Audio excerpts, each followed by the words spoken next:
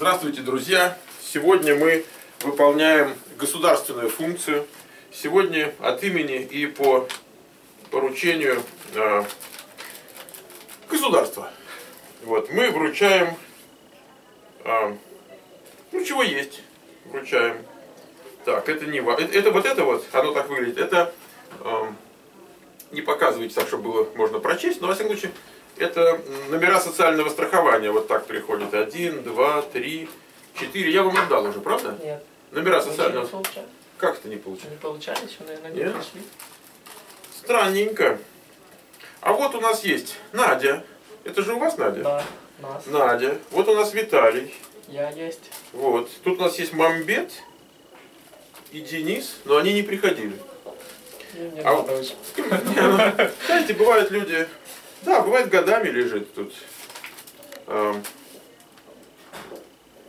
Пытаюсь найти штемпель. Бывает годами лежат. А вот тут у нас, пожалуйста, Надя и э, Виталий. Знаете что? Я вам там открывалку для конвертов. А у меня есть. Эм, вот. Значит, вот вам открывалка, держите. Значит, э, давайте покажем, покажем издалека людям, как выглядит, значит, грин-карта. Значит, от имени и по поручению почтового офиса, который воспользовался нашим адресом для пересылки грин-карт, мы вручаем сегодня оные новым иммигрантам, друзья. Да.